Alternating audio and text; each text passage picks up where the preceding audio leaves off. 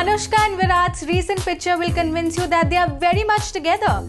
Putting an end to all the rumors surrounding their love life, Anushka joined Virat to celebrate RCB's win against Gujarat Lions on May 14th, and boy, is this the happiest picture of the two posing together. Their wide smile speaks volumes of the warmth they share. So comfortable, so happy in each other's company. What do you think about the picture? Tell us in the comment section below.